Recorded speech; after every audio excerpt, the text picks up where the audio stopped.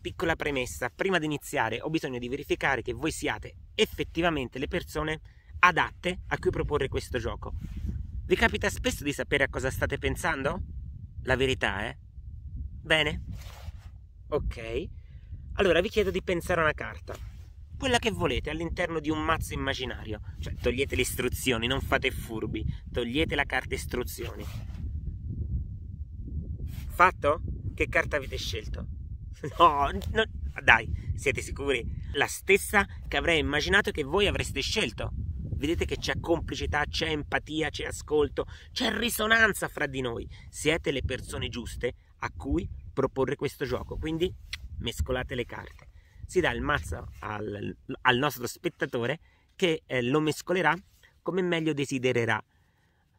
Una volta che l'ha mescolato questo mazzo, me lo riconsegna e dichiaro che questo gioco in realtà consiste in una previsione. Cioè io mostrerò al pubblico la carta che secondo me, dopo una serie di vari passaggi, verrà fuori. Eh, passo le carte da una mano all'altra e su ogni carta mi soffermo in modo particolare per riuscire a trovare quella giusta, cioè dal mio punto di vista.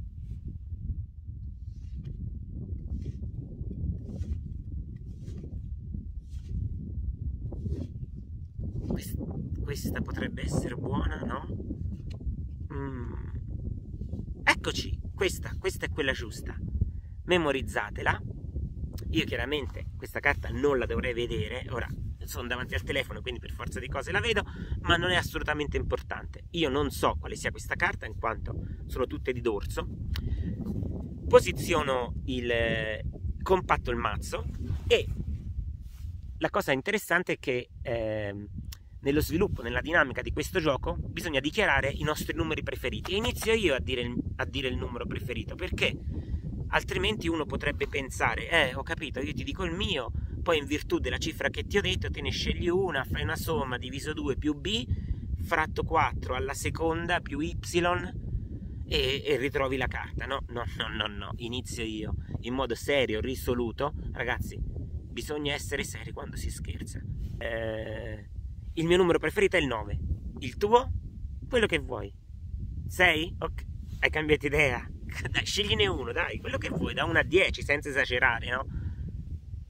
Il? Il 7, ok. Quindi il, faccio io la somma. 9 bisogna fare più 7.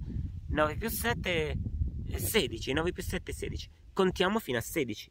1, 2, 3, 4, 5, 6, 7, 8, 9, 10, 11, 12, 13, 14, 15, 16. Ok.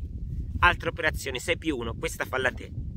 Dai, com'è difficile. Io ho fatto 9, quanto ho fatto io? 9 più 7 e fa 16, te fa 6 più 1, quanto fa? Dai. 7, 7, 7, bravo, 7. 1, 2, 3, 4, 5, 6, 7. Se il gioco è venuto, ed è venuto, questa carta corrisponde esattamente a quella che vi ho mostrato in precedenza. Se è un gioco di previsione, cioè, vuol dire che io prevedo una cosa che ora dovrebbe accadere. Se no, che previsione sarebbe? È o non è? Non è. Ma avete preso in giro. Siete dei burloni. Ma nonostante questo voglio farvi il tutorial di questo gioco. Il mazzo di carte si fa mescolare allo spettatore. Quando ce lo ridà in mano, senza guardarle le carte, perché perderebbe un po' di eleganza e poi sarebbe meno limpido il gioco. Passo le carte da una mano all'altra, tenendo le carte sotto, vedete? Perché altrimenti se facessi così perderei l'ordine delle carte. Invece è importante metterle una sotto l'altra perché io devo contare la decima carta del mazzo, che è quella che verrà fuori. 5, 6, 7, 8, 9, 10. Questa è quella che viene fuori. Se le mettessi sopra e non sarebbe più la decima, ma diventerebbe la prima, vedete? 1, 2, 3, 4, 5, 6, 7, 8, 9, 10. In questo caso questa carta diventerebbe la prima. Non va bene, non va bene. Quindi, ve lo ripeto, questo è il modo giusto di procedere. 1, si mettono sotto 2, 3, 4, 5, 6, 7, 8, 9. Qui mi fermo.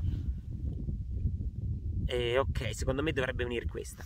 Ma agli occhi del pubblico deve essere frutto eh, questa scoperta delle vostre eh, capacità paragnostiche, eh, della vostra sensibilità, de, del vostro terzo occhio, insomma, fate un po' voi, però ci deve essere un po' di, di teatralità.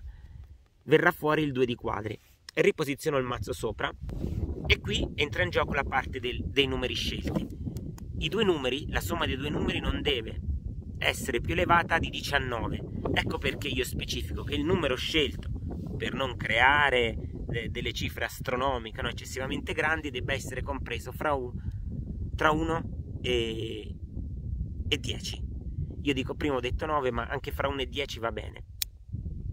Io che numero scelgo? 9, in modo tale che lo spettatore abbia una gamma completa di scelte. Se facciamo finta lui scelga 10, si arriva a 19, quindi va sempre bene. Quindi io scelgo 9 e lui facciamo finta scelga veramente 9, anche lui. 9 e 9, 18. Ma qualsiasi numero scelga, il gioco verrebbe sempre. Però facciamo 9 io, 9 lui, 18, 1.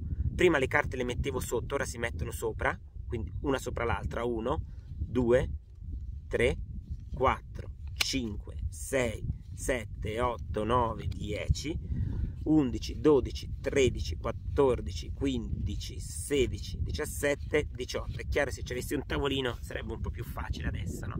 18, 8 e 1, 9. Si sommano sempre queste due cifre. La nona carta corrisponderà alla carta che vi ho mostrato prima, che era il 2 di quadri, può darsi, non mi ricordo.